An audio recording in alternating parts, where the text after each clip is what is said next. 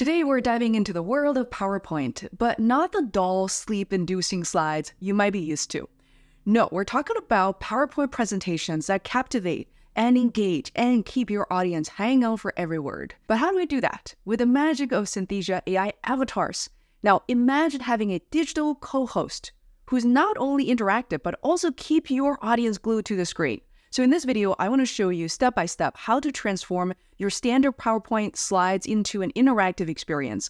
We'll explore the wonders of AI avatars, how to integrate them seamlessly into your presentations, and some secret tips to make your slides the ones that everybody talks about.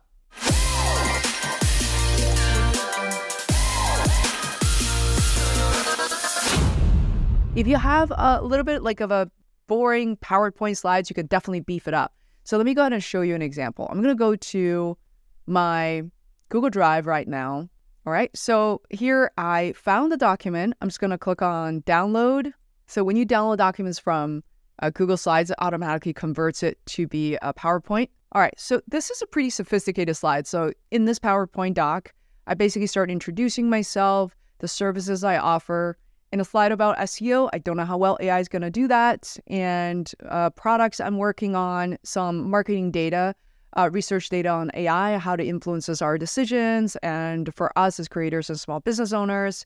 And, and then I basically went into addressing questions from the audience. So let's take a look. I mean, this is probably going to be on the more sophisticated side as opposed to a, a singular idea. So I'm going to click on new video and here import PowerPoint. I literally have never done this before, so I'm really curious what it will do. Use AI to gain an edge.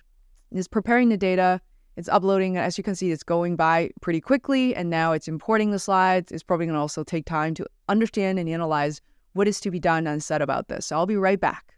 All right, so even though it was showing that it was going slow for 5%, and all of a sudden it just uploaded the document, when you upload your PowerPoint doc, it is not like all of a sudden Synthesia is going to drop in the avatars and start speaking right away. So this one is a little bit different. Now, as you're navigating these slides or what Synthesia calls scenes, you notice that there's actually no script underneath. So here what you can do is you can type your script here or you can upload an audio file. Um, if you want to have a silent scene, you can just add right here, it says five seconds. By the way, to add uh, pauses. You can click on this icon where you can click, you know, it was indicating and simply just going to built in five seconds uh, automatically. Now, from here, uh, what I can also do is I can upload an audio file or just start typing. So let me show you what it looks like. Uh, for instance, and I can choose the tone, you know, engaging, narration, original. I think engaging is probably good. And I can preview it right away. All right. So it's not my voice. But you'll notice a couple of things. If you have uh, phrases or you know proper nouns that may be mispronounced, what you can do is click on diction, and here you can actually type in the pronunciation. So Fei Wu. When you want to say Boston, Massachusetts, you actually need to type it out, obviously. And that's it. I hope that's pretty straightforward. All right, so currently, as I'm recording and releasing this video, there isn't a direct integration between Synthesia and Eleven Labs. So, which means with Eleven Labs, by the way, you can train your own AI voice. That sounds really quite realistic. You can manipulate different settings as well. Now, there's an alternative, which is that you can actually upload an audio file to use as your script. I'm just here to show you how you can use this pretty easily you can train your custom avatar just to keep that in mind. So, with that said, you can add scenes and you can upload scripts and make the process really easy without having to create videos from scratch. By the way, what I also really like about this is that when you type your script here, you know it's going to be done right without re recording, without hiring a video editor to correct the mistakes. I also want to remind you in addition to avatars, you can add additional text using the text icon feature here. You can add shapes as well as media. Media comes in videos as well as images.